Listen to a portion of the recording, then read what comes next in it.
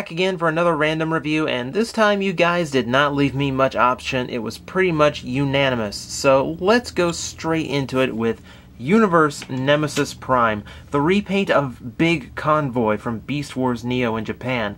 I admit I don't own the original, just this version. And you know what, I'm kind of happy about it because this thing does a whole lot that I like. Now, let's get the basic form out of the way. Uh, this kind of works better for Nemesis Prime since it's rather a big beast that could really do some major damage. Uh, it doesn't really make much sense for a Maximal since, you know, it'd be pretty hard to disguise himself as a mammoth these days. But it's a really nice looking mold, if a little bit distracting because of how panely he is. I'll get to that in a bit. Uh, but, you know, otherwise it's done a great job. Big black woolly mammoth, Power Ranger-esque, I dare say. A lot of these uh, silver spray apps, where normally the original had two-tone fur. This one almost looks like uh, he's got a lot of snow stuck to his fur. And it keeps with the Nemesis color scheme and really brings out the toy a lot. Really keeps it from looking boring in this mode. He's got a ton of fur detail. I mean, you can see that. It's very intricate going all over him. It's really an impressive job here. And it actually holds together fairly well. Everything locks up despite how this thing transforms. Uh, few slight problems. Uh, yeah, Beast Machines had, or Beast Wars toys had a lot of these where, well, you really got to ignore a few angles. Like even front on, yeah, you can tell this this is not a real mammoth.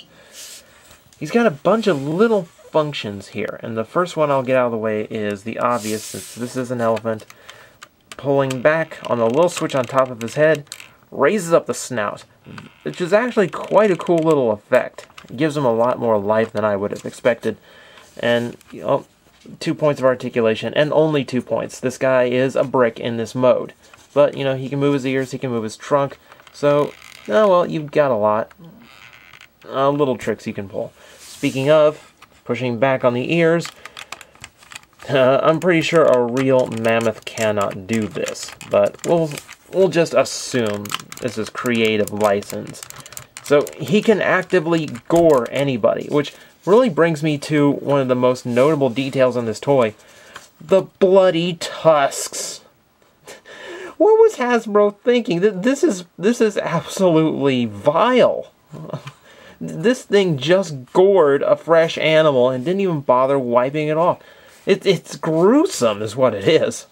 I mean, I'm shocked. I mean, this is something that I would expect, like, Takara to create, you know, considering uh, Beast Wars Neo, they were really, really proud of their dead mode uh, dinosaurs. But this, this is, this is violent. Man, that's shocking. You also got a little red in the eyes, so I guess you can't really have the classic Nemesis Prime slash Scourge red uh, windshields in a mammoth mode. So we're, we're just going to paint the eyes red, and it really gives off, it, it's the definitive thing to do for an evil figure. So, all in all, this is really well done, though uh, transforming this thing for review was not fun in the least. Uh, this thing is extremely panely, and uh, the panels can all line up. You could have this panel, the leg, this one, this one. All of this could line up and connect correctly. But for some reason, this thing is about an inch higher than it should be. It's just there's just so many ways you can incorrectly connect all these panels that you really, really uh, need to take your time and really know this toy inside and out before you can really get this thing back and forth easily. And even then, I'm not happy with all these little panel lines it creates. Uh, oh, you know what? Uh, I forgot. This thing has a weapon mode. I, I better cover that one too before we get to the robot. So, really quick. Now here we have something of an artillery mode, and honestly I can't even remember if I've got this thing transformed correctly, but the missile's out, it looks correct from what I remember. I'm going to run with it because I really don't like these modes. I really only show it off here because it's probably where his weapon is most effective, and we'll get to that in robot mode. But for the most part, yeah, big cannon sticking out of skull. Uh, let's move on to something more interesting. Finally onto robot mode, and this is where the toy is really at its best. I mean, by far. You've got the classic Nemesis Prime color scheme, uh, jazzed up a little bit in Hasbro's typical way in the early to mid 2000s by replacing flat gray with this kind of bone colored tan. Uh, on normal Nemesis Primes, anything that turns into a truck, for instance, I cannot stand this, but I I have an easier time accepting it on a Beast Wars version. It just feels a little bit more natural to have an organic color like that mixed in here. Aside from that, he does have all the traditionals. Red uh, making up what would normally be his prime uh, windshield chest. Uh, you've got a lot of red detailing here. A lot of little metallic blue mixed in as well. So all the classics colors are there. It does a quite nice job of creating a Beast era Nemesis. And this guy, let me tell you, this guy is all about his little tricks. Okay, you see see all this artillery up here? All these little missile pods and batteries? Okay, that's some pretty heavy duty.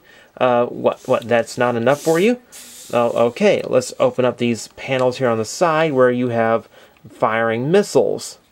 What, what, that's still not enough firepower for you. Okay, how about this? If I can unfold these without snapping them off in one take. This is just one of these tiny little details that Beast Wars Neo loved to add in for no reason other than we could. It was there. You can see little tiny uh, Gatling batteries that have been molded into the bottom of the uh, into the mammoth mode feet. Just um, extra little detailing they really didn't need to put on, but you know what? Extra artillery is never a bad thing. That's a far easier way of transforming that. That's one thing that quickly starts bugging me about this toy is that uh, in typical Beast Wars Neo fashion, almost all of his robot mode is comprised of bits hidden inside of his Beast Mode shells.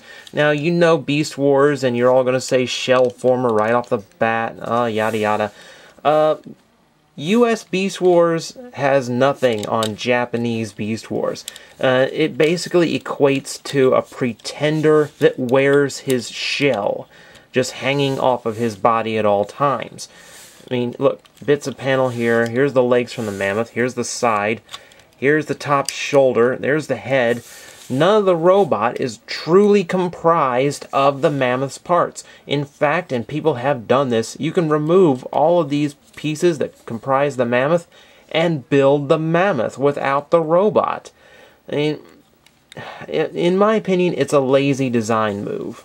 I mean, it allows for a few more dynamic robots, but they always end up with shell kibble all over the place and some really awkward design moves in order to do it this way. I much prefer the US method of trying to incorporate the beast mode into the robot mode in order to develop something a little bit more unique and somewhat uh, old school, which is uh, a blasphemous thing to say for some in comparison to Beast Wars. Okay, how about we move back to firepower? Where's the rest of the mammoth mode, you might ask? Like his trunk and his head. It all went into the ginormous cannon. Uh, there's all kinds of ways you can assemble this because of all the kibble bits that are hanging off of it. Uh, I like to leave as much of the cannon exposed as possible.